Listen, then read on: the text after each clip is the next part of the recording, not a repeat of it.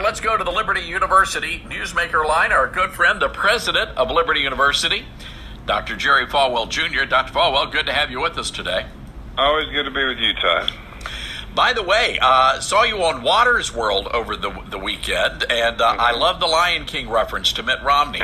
well, I was uh, in Iowa earlier in the week, so it was a good week last week, and we yeah, I, I just could. I kept thinking about that movie, and there's so many parallels. You know, the uh, the hyenas are the Democrats, and and Scar, the uh, I call him a lion, a lion in name only. I, I compared him to, to Mitt Romney because he worked with the hyenas, hyenas to try to overthrow the king.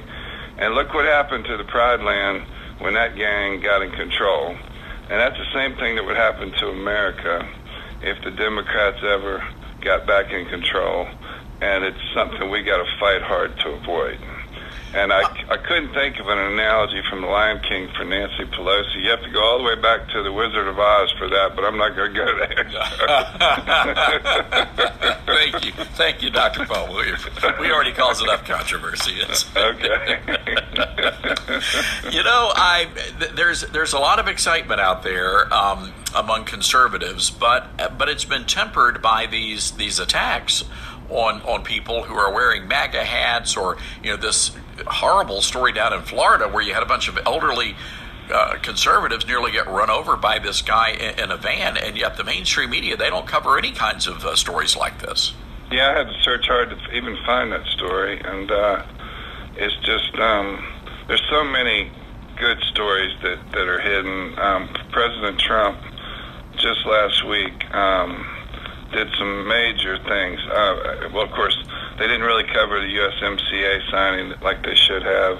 They didn't cover his uh, push to for school choice, which is so important to the African American community for uh, for for young people to be able to choose not to go into a poorly run public government school, and things like that just get swept under the rug, and it's. Uh, it's just sad to see, but it's the world we live in, and thank God for people like you and for and for Fox and for uh, and for Sean Hannity and, and so many others that are they're in the in the minority, but at least they're there. And uh, it, 40 years ago, they weren't.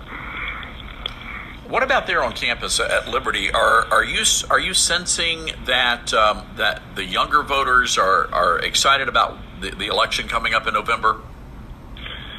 I think, yeah, more than usual, because young people are still at a stage in their lives where they haven't started paying taxes yet, so they don't really, they haven't focused on politics like older folks have, and but they but they still see the danger of of what could happen to their country, to their future, and they've got a lot more at stake than you and I do. We're we're older. We um don't have our whole whole lives ahead of us like they do, and and it's just um you know, when they see Democrats play games like uh, like like Mitt Romney, you know, he he uh, his brand of professional politician that pretend to be con- conservatives because they're good family people and people of faith. Now they've been exposed, and I heard today that Romney may have actually voted for impeachment. I don't know who it was. I heard on the radio say that because he's trying to position himself to be a VP candidate uh, for a Democratic presidential candidate in 2020. And I think that would be, I would have a lot more respect for him if he did that because he, he can't fool people into thinking he's a conservative anymore. So he might as well admit what he is and go on across. And, um, but I really think all this impeachment stuff, all the craziness, is because the Democrats are scared of scared to death that John Durham is going to put half of them in jail this summer when he finishes his criminal investigation. But the but the funny thing that nobody's really noticed about impeachment, the most damage that impeachment did to anybody was the Bidens. I mean, who would have ever focused on that deal with Burisma and Ukraine if it hadn't been for the Democrats going after impeachment like they did? That that just put the spotlight right on that corrupt deal, and now he's losing in Iowa and New Hampshire, and or appears to be, and it's just uh, it seems like they shot themselves in the foot. That's the candidate that the uh, that the Democratic establishment wanted to see win. So I, anyway, I, those are just some thoughts. But but students at Liberty um, are more energized than you normally see young people energized about politics. It's um, when I was their age, I was still trying to figure out what what, what my political views were going to be, and it wasn't until I started listening to Rush Limbaugh in 1992 that I became super solid as a as a conservative, and I understood why. And uh, I think you'll see. I, I think young people have to go through that same osmosis. Yeah, I'm. You know, I'm with you, and I was the same way. Um, really, Rush was so instrumental and influential in, in you know, in, in my early years of just understanding what it meant to be a conservative. And and for the first time, I actually heard somebody who was saying something on the radio that I actually felt, and I had, you know, maybe didn't have the courage to say at the time. Uh, and and I, I, you know, it's hard for young people. I gave, a, I was speaking to a bunch of college kids this weekend in Nashville, and I said, you know, Rush Limbaugh really was the original social media network for conservatives. I've met so many people who say, everybody from Matt Whitaker, I was with him in Iowa to, I mean, you name it. They say I would not be a conservative if it wasn't for for uh, Rush Limbaugh. And you know, with young people, all they have to do is look at the numbers. They they actually have prospects of getting jobs now. Seven million new jobs in the country. Unemployment rate's down to 3.5 percent, and he did it without controlling the Senate. People don't realize this. He really did not control the Senate his first two years. It was 52-48 Republican, but there were three turncoats.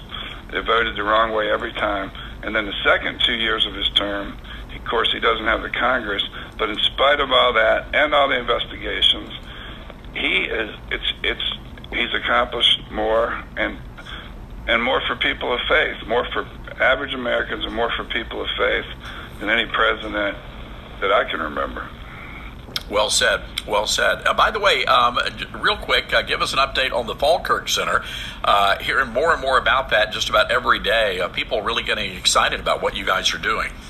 Yeah, we, you know, Falkirk's helping a lot with this VEXIT movement in Virginia, where we we have counties in Virginia circulating petitions to to to switch over to West Virginia because Northern Virginia, the Washington suburbs there's so many people there, and they dominate Virginia politics politics now, and you can't get a conservative election elected to statewide office anymore.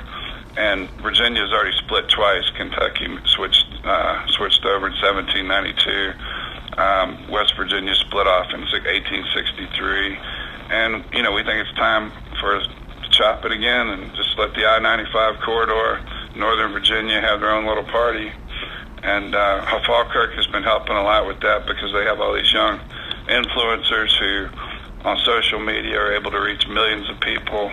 And uh, Charlie Kirk and and all the people involved with that are just. Uh, I'm so proud to be associated with them, and it's uh, it's exciting to watch. And we're pretty excited. We're going to be coming to campus as well. I mean, it's uh, you guys are just growing and blowing out there at uh, Liberty University.